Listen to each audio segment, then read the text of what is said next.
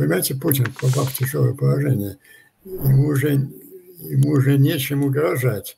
Ведь, казалось бы, самое страшное нарушение всех красных линий – вторжение в священную российскую территорию. Хотя формально, формально ведь они запутались в своем обмане. А чем вторжение в Курск отличается от борьбы, от оккупации, как бы они сказали, таких российских территорий, как Херсон, ну, да, в данном случае это одно и то же. Он же заявляет, что это теперь конституционные территории Российской Федерации. Да, да, что, что юридически, да, вот они запутались в своем обмане, да, против, против них работает абсолютно. Вот. Так э, доколе, почему нет? Почему мы не делаем то, почему, а, а почему мы не делаем? Ничего. Вот две недели стол вой на всех пропагандистских кампаниях, что царь должен чем-то ответить. Вот он ответил. Вот это, это неприятно, это тяжело, но это максимально, это максимальная путинская ответка, это два удара, накопив там раки. Причем сегодня удар был уже меньше. Не потому что они добрее стали, но меньше стало уже и ракет тех же самых кинжалов. И, то есть он уже нечем ему грозить, понимаете? он попал в очень серьезную ситуацию. Вот я считаю, что это настроение такого бодрого энтузиазма в Вашингтоне, юношеского прямо, и паники, паники и негатива по отношению к обосравшемуся царю в Москве очень резко, просто резко, я отвечаю и за Москву, и за Вашингтон, которым я внимательно наблюдаю, резко усилило э, уничтожение Крымского моста уничтожение Крымского моста, это громадный был бы психологический удар. Ну, тогда я не знаю, как они будут реагировать на это. Понимаете, в чем дело? Ведь какая сейчас самая страшная опасность для Путина и для его власти? Ведь долго предполагалось, ну, кстати, оппозиция еще до сих пор в каких-то иллюзиях, и западные эксперты, симпатизирующие нам, что вот в конце концов русский народ проснется и демократической ну, оппозиции удастся вывести миллионы, и Путин э, отдаст. Да не, не удастся не вывести, потому что мы живем уже в абсолютно тоталитарном фашистском государстве. Э, вот давайте, я не знаю, как вы отнесетесь, у меня есть своя. Нет же, у нас нет социологических данных никаких, социология невозможна. Ну, Но у меня есть своя рабочая схема, я вот ее придерживаюсь. Мне кажется, она помогает э, как-то Э, осмыслить определенные события. Мне кажется, что процентов ну, от 10 до 15 русского населения – это матерые абсолютно фашисты, это Z-быдло, полностью поддерживающее войну и даже требующие, требующие от Путина каких-то более решительных шагов. От 15 до 20, я надеюсь, это принципиальные противники войны. Но а остальная масса, ну сколько их там, 65-70, это по, по формуле нашего великого поэта народ безмолвствует. Безмолвствует. Ему, ему насрать, по большому счету. Как, как и во времена э, коронования Бориса Годунова, так еще и все последующие народ безмолвствует. И он ничего не решает. Он ничего не решает, а 15-20% активных противников войны, они, их лидеры или убиты, или брошены в тюрьмы, или изгнаны, как мы с вами, и они не участвуют в политической жизни. А, тоже. У них вся политическая система России, информационная площадка, она полностью занята вот этими Э, различными оттенками Z было, а, так э, Z было все более и более недовольны.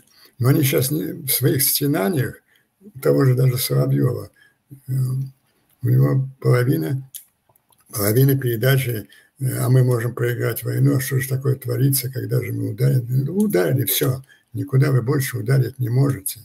Генерал Бужинский правильно сформулировал, перестаньте повторять необязующие угрозы. Вот хорошим словечко назвал.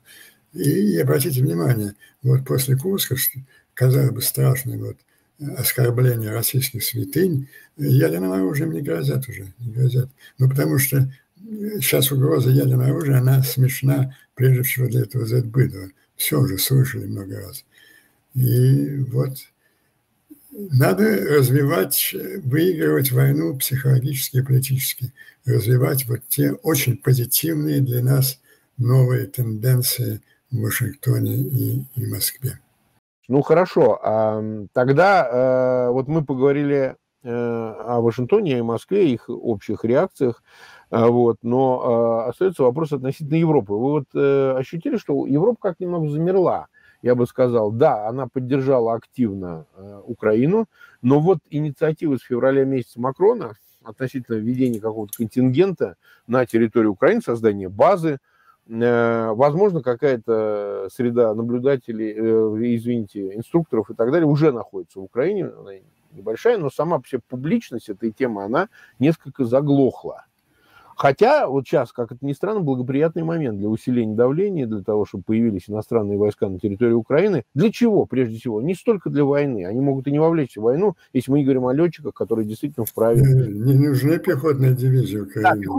Да, но вот вопросу о членстве в НАТО, вот эти вопросы политического самоопределения Украины, ее суверенитета и так далее, появление иностранных войск именно в момент войны, неважно, пусть это будет ограничен континент, создало бы предпосылку, потому что все это тоже мы застолбили, эту красную линию мы тоже преодолели, а теперь уже серьезно будем заниматься, как нам хотя бы ту конвенциональную территорию, контролируемую официальным Киевом, до 80% не оккупированной части Украины, все-таки завести в НАТО. Ведь это большой был бы шаг, но если войска НАТО уже на территории Украины, то хорошо же не интегрировать э, эту свободную часть Украины внутрь э, Североатлантического альянса. Я вот в таком контексте хотел задать вопрос, что вы на это скажете? Ну, вы сказали, что ослабла энергетика да. Европы. Ну, а, это, эта линия на, на 99% это Макрон был. Да, так и есть. У Макрона были объективные трудности. Сначала был правительственный, правительственный кризис, потом Олимпиада.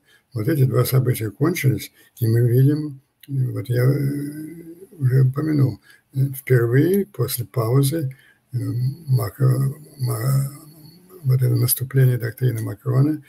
Вчера в НАТО обсуждалась отправка, опять формулировка. Эту формулировку мы не слышали два месяца, пока Макрон занимался правительством Олимпийских игр. Отправка натовских специалистов в Украине, сознательно было это сказано.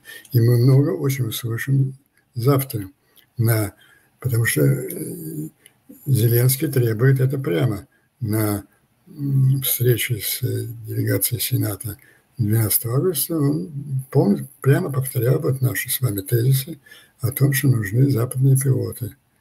И завтра эта пауза закончилась, и это давление будет оказываться. Тем более, что давайте все-таки закончим э, линию с администрацией. Почему я... Ну, Харрис никогда не называл у меня каких-то горячих чувств. Она по отношению к Украине, ну, она верная такая, байдонистка была. Сейчас, сейчас, как мы заметили, формулировки на решающем заседании съезда, они были более резкие несколько в, в, в пользу Украины.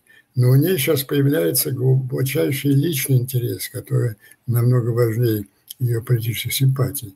Я же вот уже сказал, что основная масса, за которую можно бороться, и за которую борется Трамп, но он, Трамп за это борется совершенно бездарно, мне кажется, это вот колеблющиеся, колеблющиеся республиканцы.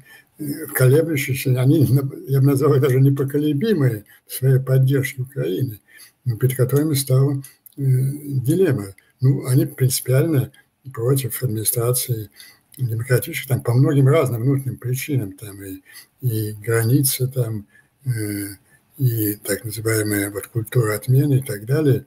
Но для них очень для них ключевой вопрос – это геополитический вопрос мировой войны, вопрос поддержки Украины. И они вот колеблются в своем выборе.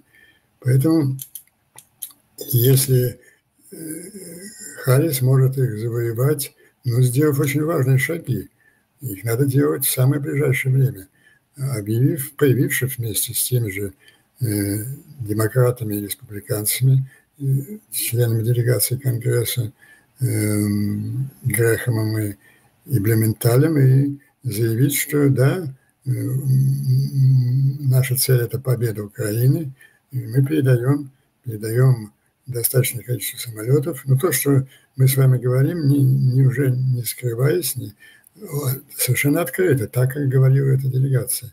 Тогда она выигрывает выборы. А казалось бы, что у Трампа теоретически прекрасные возможности. Можно было бы... Он, кстати, удачно использует эти возможности по Израилю. Он критикует э, и, и достаточно убедительно Байденскую администрацию за ну, почти предательство Израиля, что ли. Мы же видели, как та же Харрис... Вы знаете, что я слышу здесь в Америке? Извините, что я перебиваю, что я субъективное. Что м- здесь в Калифорнии, она же не чуждая Калифорния, она вообще родом отсюда. Я даже проехал да. дом, где она жила, родилась Харрис, ну, жила, видимо.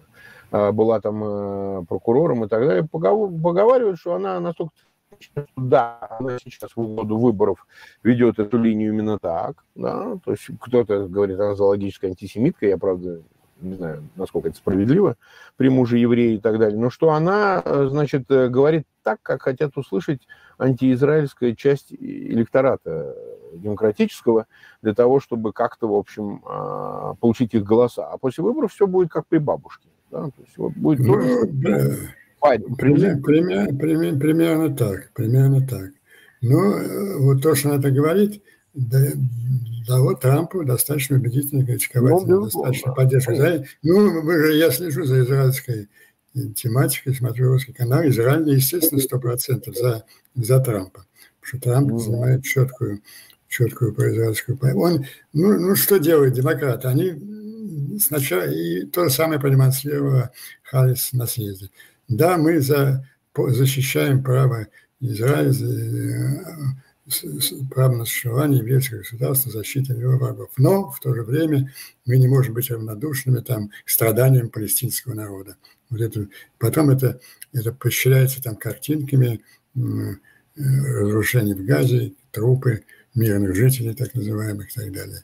Ну вот э, такая игра, конечно, это, это слабость это органическая слабость демократической партии, большое влияние вот этого левого, левого так называемого прогрессивистского крыла. Это же Байден начал отступать от позиции. Он же прекрасно начал, я напомню еще раз, реакция девушки Байдена на события в Израиле, она была э, спонтанной и, и человеческой, и правильной. Он сказал, ну это не он, он Блинкин, когда приехал, сказал, в Израиле, мы знаем, что у вас много врагов, и мы знаем, что вы сами с ними справитесь, но вам никогда не придется сражаться с ними одним, потому что пока существуют Соединенные Штаты, мы будем рядом с вами. А потом это сказано, Путин хочет уничтожить Украину, э, Хамас хочет уничтожить Израиль, мы самое сильное государство мира, мы никогда это не позволим, у нас достаточно сил защитить нас. А потом эта позиция начала размываться – потому что вся эта прогрессистская э, шваба, швоба, она начала бегать с палестинскими знаменами. Но надо отдать должное, они понимают что-то в демократической партии. Они не выпустили на выступление на съезде, рвались, рвалась какая-то там девица с палестинским флагом. А вы правильно заметили, очень показательно было, что четыре оратора очень четко формулировали позицию в пользу. Так, у, у Трампа открывается прекрас, открылась прекрасная возможность. Он вот атакует, атакует э, э, демократов по Израилю, так сделай то же самое по Украине. Скажи, ах, сволочи, вы недостаточно даете помощь Украине. Ну все, все это бы это громадная поддержка была вообще, потому что что положительно для нас – эти, мы обсуждаем с вами игры внутри политиков, а есть общественное мнение Соединенных Штатов. И вот вопреки, вопреки стандартной точке зрения, что американец не интересуется внешнеполитическими проблемами, на всем протяжении конфликта, независимо от колебаний власти, сохраняется очень высокий уровень, 75% поддержки Израиля и 65% поддержки Украины. Для Америки очень высокий уровень.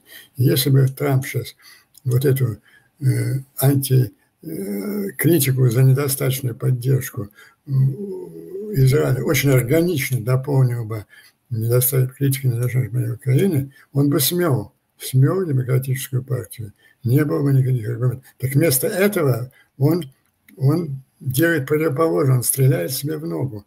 Он вот повторяет, повторяет путинские аргументы, что Байден, Байден своей поддержкой Украины толкает мир в мировой войне и назначает самых явных. Вот меня поражает позиция, вот мне понятна психология вот американского трампийского быдла, но вот мне абсолютно непонятна психология русскоязычного трампийского быдла, причем себя позиционирующего как противники Путина.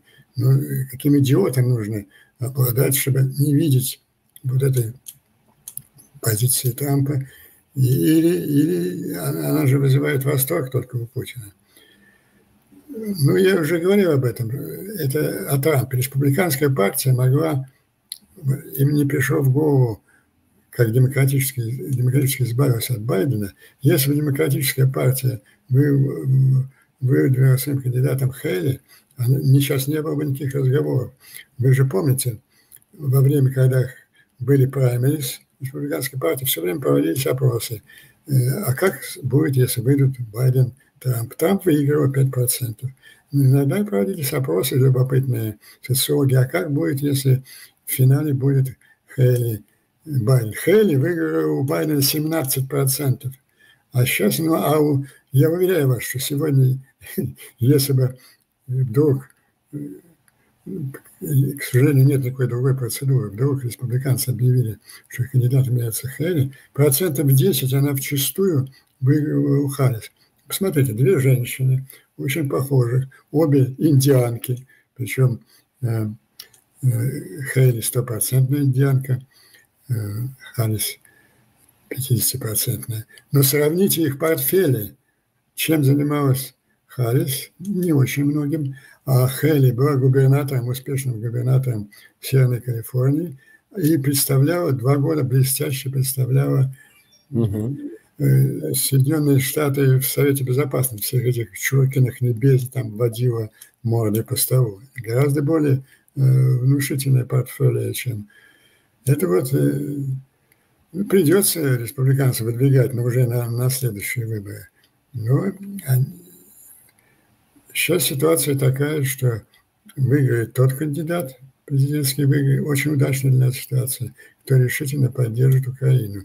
Ну, а от Хелли, треб... от Харрис, она же как бы и действующая администрация.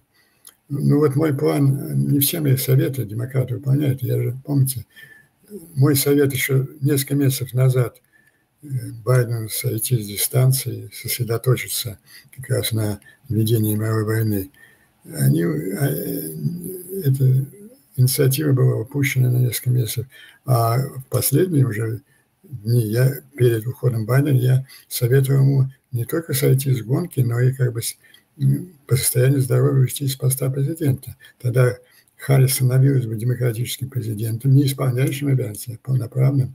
У нее было больше поле возможностей, шире варианты. Она могла бы, вот, не советуясь там Байдену, не тратя время, заявлять о поддержке республиканского плана победы Украины или поддержке вот этой заявления, э, заявления Грехама и Блюменталя в Киеве. Ну, вот так вот обстоят дела у нас в компании. А вот мы с вами с каким бы восторгом поддержали бы дедушку Трампа, если бы он э, пробил эту политику, если бы он атаковал, атаковал Байдена за недостаточную поддержку. Нет, ну так а, это целый набор, это же ведет к очень многим последствиям. Вы понимаете, сегодня а, симптоматика проявляет а, того, что все-таки он чего-то позволить себе не может. И все в его окружении... Так... Нет, нет, нет. Даже, даже, даже вот тот страшный сценарий победы Трампа на выборах, который сейчас видим, он все равно будет ограничен.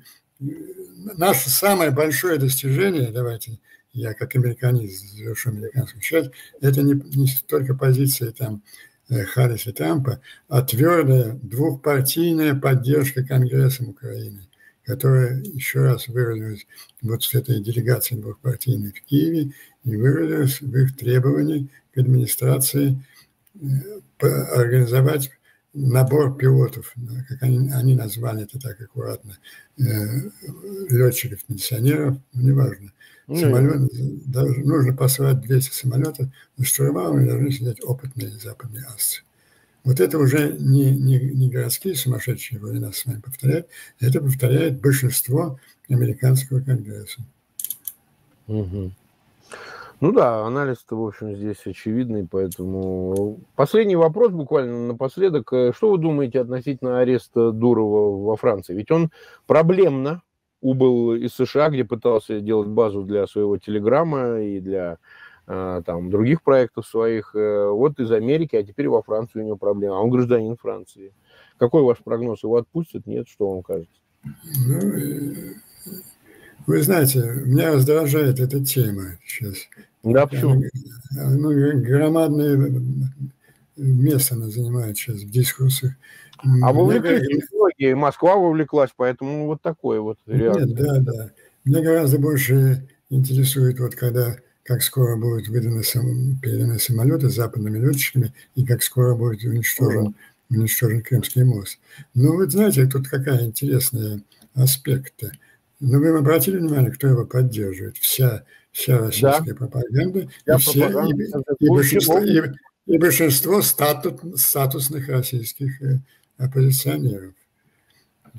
Ну, проблема, она же не проблема Дурова, все владельцы этих платформ, и Facebook, и, и YouTube, они все сталкивались с этой проблемой, потому что их их продуктом, конечно, пользуются преступники, причем самые отъявленные. Не, ну так американские, американские платформы сотрудничают со спецслужбами, с правоохранительными органами, и представить себе ситуацию, они отказываются предоставить код или там э, доступ, это невозможно абсолютно. Ну, тоже они, необходимо было давление на них, рассмотрение в Конгрессе, помните? Они не, ну так, а, ну, так, понимаете, э... здесь другой вопрос политический, извините, что перебиваю, Андрей Андреевич. Все-таки Чья лояльность? Вот я все время слышу о том, что они такие анархисты вне государств, что они, он, Ассанж, там другие создают такие наднациональные проекты, транснациональные корпорации, по сути, потому что это гигантские проекты многомиллиардные, и что государство вообще никакой не может вмешиваться. Но, с другой стороны, а что ты тогда получаешь гражданство французское? А что ты прикрываешься от проблем, значит, э, в других юрисдикциях? Своим статусом, потому что паспорт защищает. Да? Вот я вот живу во Франции, я беженец, но я не беру французского паспорта, и у меня никакого гражданства, кроме российского, нет. Ни, там, ни украинского, ни французского, ни американского. Ну, потому что я занимаюсь политикой. А ты, если ты занимаешься крупным бизнесом, ты используешь государство для своего... И не надо, и не надо на своем либертарианстве. Он прекрасно, ну, он, он, он миллиарды, миллионы или миллиарды долларов зарабатывает. Миллиарды? Он, он, на, миллиардер? На тех же самых э, педофилов, э, наркодилерах и террористах. Я думаю, что все требования французского правительства к нему, они абсолютно законны. Ну вот, кстати, мой прогноз, что его, конечно, отпустят, но он доступ везде даст. Он, так сказать, пойдет на сотрудничество со следствием, там, ну, пока оно будет длиться, он могут изменить меры пресечения, но он, э, безусловно, должен выполнить французские законы и конечно, доступ предоставить. Здесь другого варианта просто нет. Тем более, что ты гражданин Франции. Вот и все. В Франции есть репутация государства, где соблюдается закон, где независимый суд. И мы будем наблюдать за этим процессом. Будем наблюдать. Я, я, я, я да. в, этом процессе, в этом конфликте я на стороне французского государства.